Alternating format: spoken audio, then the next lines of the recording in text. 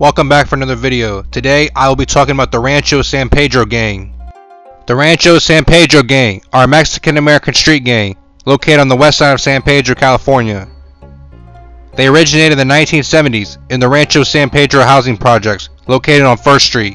In 1988, Angelo Regino, a known member of the Rancho San Pedro gang, was convicted of killing Johnny Healy. Regino made headlines with his assassination with Freddy Krueger, the 1980s fictional serial killer of Nightmare on Elm Street films. Police say Regino wore a brown brimmed hat like Freddy Krueger and allegedly told a robbery victim he was the movie killer. Johnny Healy was sleeping in the back of a pickup truck when he was robbed and shot to death on 18th Street.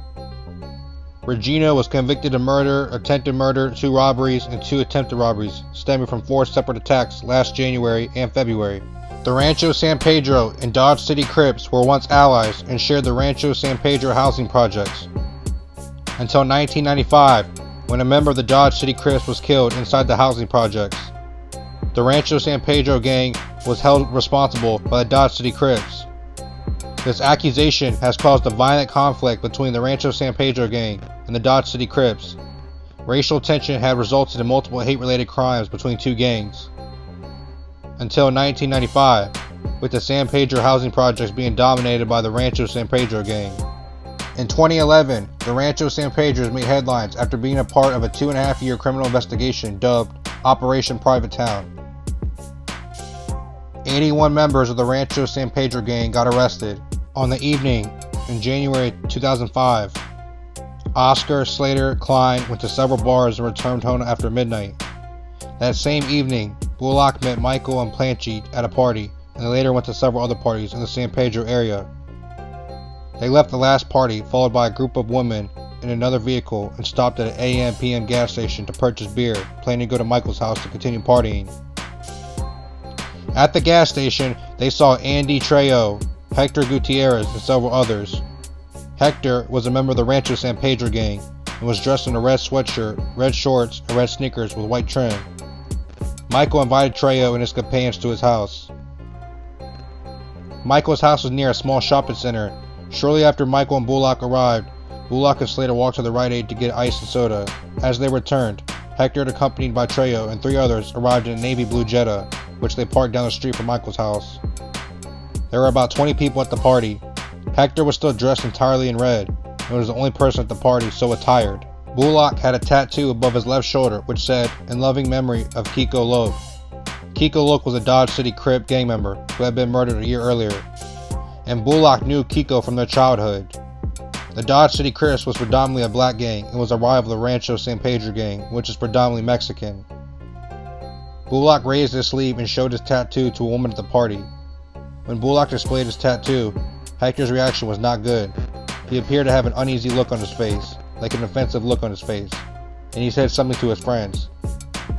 Trejo, along with Hector, approached Bullock and said they were from Rancho San Pedro. It was their neighborhood, and began to shout racial slurs and dissed Dodge City Crips. Bullock said he had no problems with them and was not a gang member. Later, David Rojas, whom Bullock knew by the nickname Hitman, approached Bullock Bullock knew Rojas belonged to the Rancho San Pedro gang, although he was from a different clique than the one to which Trejo and Hector belonged. Rojas asked what's up with your tattoo and said he did not like that fool Kiko. Bullock said Kiko probably did not like him. Sometime during the evening, Rojas told Oscar that his boys or something had a problem with Bullock and he didn't know what to do. Bullock did not try to argue with Rojas or get into an altercation with them.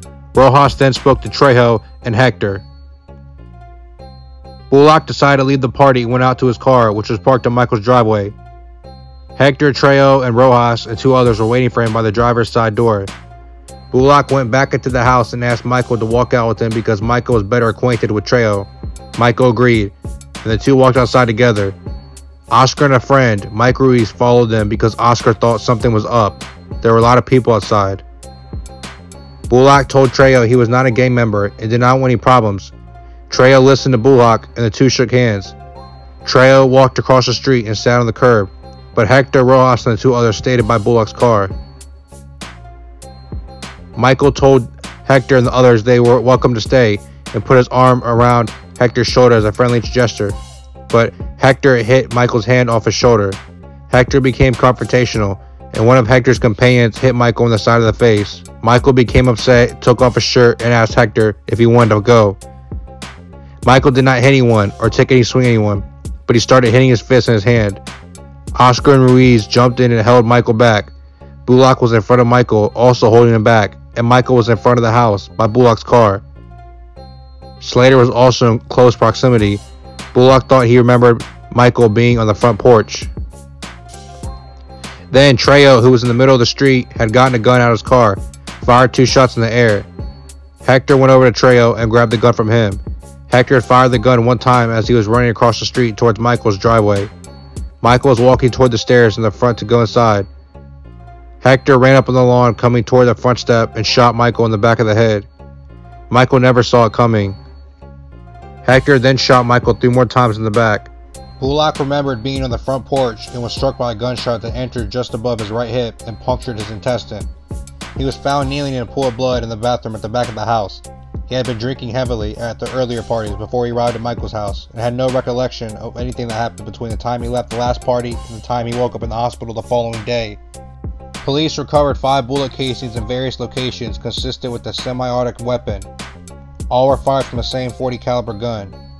Hector Gutierrez was arrested a few days later. Both Bullock and Oscar identified Hector at trial as the person who killed Michael. In addition, Sarah McDonald, who had been on the front porch of the area near the front door most of the evening, saw Hector as the one in the red point the gun at Michael and shoot him in the back. She also saw two other guys get shot.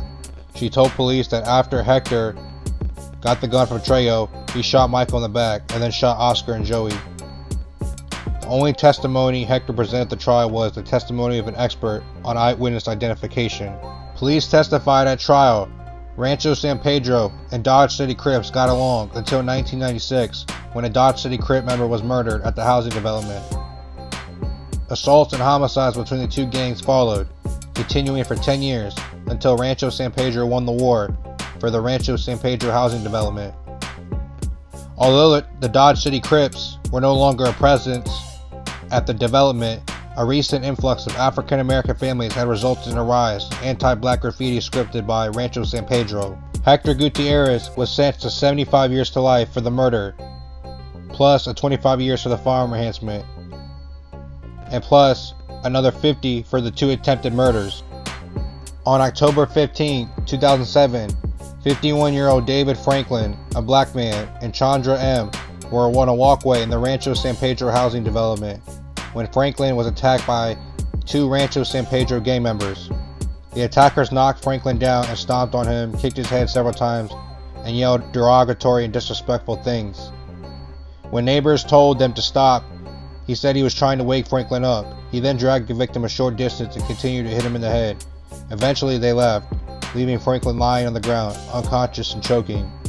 Franklin never regained consciousness and later died from the massive brain hemorrhaging. He suffered deep bruising to the face, nose, and side of the head, but no other injuries. The crime was witnessed by the sisters Jessica and Amy, and by Alejandro. They identified Oscar Gomez as the one of the assailants in the photograph lineup and at trial, although she was reluctant to appear as a witness because she had been warned by associates not to testify. She identified Oscar at trial because one of the assailants, although she had also been warned to testify, identified the defendant in a photograph lineup at trial. Five days after the attack, Oscar was found with his girlfriend, Francisca Carmona, hiding in a crawl space in a residence in the Rancho San Pedro housing project. He was arrested. Antonio Gomez's Oscar brother was found hiding in a closet in the same residence. In late January 2008, two days before Oscar's preliminary hearing, Francisca and Antonio went to Jessica and Amy's house and told Edgar, their father, that if Jessica testified against Oscar, the gang would shoot his family and house. When Deborah's neighbor protested, Karma punched her in the face, knocking her to the ground, and continued to kick her while she was on the ground. Police moved Edgar and his family to a hotel that night and kept them in hotels for several months. On May 11, 2009, 10 months before trial, the trial court granted Oscar's request to represent himself. Two months later, the court granted his request to terminate his pro se status, On the second day of trial, Oscar again requested leave to represent himself. This request was denied. Oscar Gomez was found guilty of first degree murder. He was also found guilty of allegations that the murder was willful, deliberate, and premeditated, and that he committed a hate crime. He was sentenced to life in prison without the possibility of parole, plus 10 years for the gang enhancement. I want to thank y'all for watching. Please don't forget to like, comment, subscribe, tap that notification bell so you don't miss a video. Thank you.